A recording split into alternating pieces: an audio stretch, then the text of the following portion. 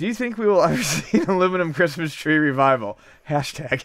Uh, if so, would you buy one? Those things always confuse the shit out of me. I mean, when were they popular? Because I saw them in the 80s. 80s, 70s, maybe? So I want to say 70s is where they got their start. I think I knew one. I think I went over one kid's house that had a, one of those white Christmas trees. It always was that aluminum. I don't know if it was aluminum, but, it that, was but always that falls in the same. Weird as hell to me. They Yeah. have colored Christmas trees. Uh, If you, if you watch the movie Goodfellas, I think someone gets a, a colored Christmas tree. But they said, "Oh, I bought the most expensive one." And it was this gaudy ass colored. I think it was Ray Liotta's character. I wow, it's been too long since I watched Goodfellas, and a lot of it happens around Christmas. It's almost like a Christmas movie, Goodfellas. Um, no, I don't think we will. But I do think we're getting away from. Well, no, I think we're not crazy enough to, to think that when, you, when people there's less people complaining about cutting down trees because those those those those uh or um places that grow they grow more trees than they cut down when when they when they cut them down. So I I don't have a huge objection to people having real trees. I'm just thinking out loud. I, I don't have a real tree. Frank buys one every year. My, I like real trees. I just uh, my, par- don't, my parents stopped buying uh, real trees. I don't want to clean up after them. They were so good though because the cats would would uh they, they you have to warm them. The cats would drink out of the pine water.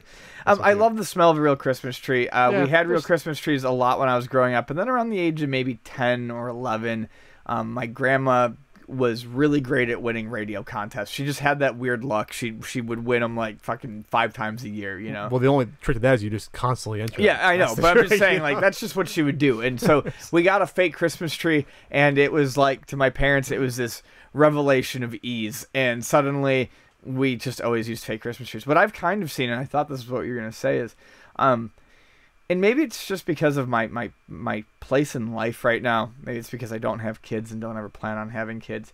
Um, but a lot of people, a lot of families I've seen, you know, they're not doing the huge, crazy Christmas trees so much anymore. well, like the ten footer, Yeah, you're 12 doing. footer? We're doing. I mean, like I Six, seven I go to a lot of my friends' houses. No, I mean I'm talking like a three foot tree A in real the one? A little real one? or, or or even a fake one, but like a little one in the corner. You know, it's it's symbolic. You put your presents under it, but it's not this this this this huge um production. It's a pain, pain in the ass to get rid of unless you live in a neighborhood that they have pickup of the trees. You know, it's, that's one thing to think about. I guess they do. They always have that set day you got to put your tree out. Yeah. You know, in the first week of January or whatever.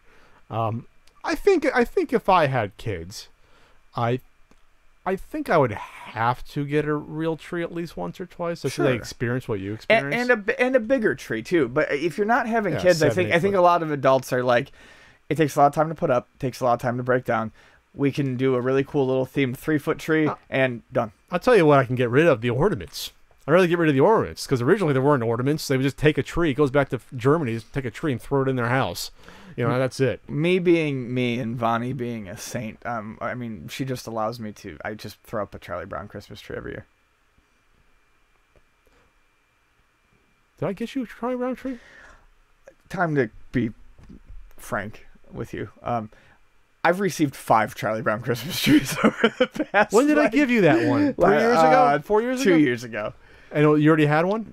You got me my second one, so it, it Why still didn't you tell me? because it meant something to me. It meant something I got you a Christmas tree? Yeah.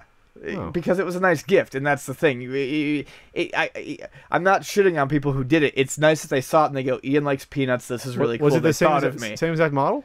Yeah, Oh. but I, I really have gotten five of them, and this year uh, I gave them all to except for one. Uh, and I think I kept yours because yours uh, had it, it- there was still like some sort of like paper attached to it. I, I feel like it was yours. Um, but I, I, I gave away four of them to friends who Oh. adored them. So I, I now have one Charlie Brown Christmas tree. It was a thought that counted. Yes. No, that's what I'm saying. Like, it, I'm always appreciative of it, but like, honestly, we went to go pull one. We went to go pull out of the closet this year. And it's like there's five of them. we need we need to find homes for these.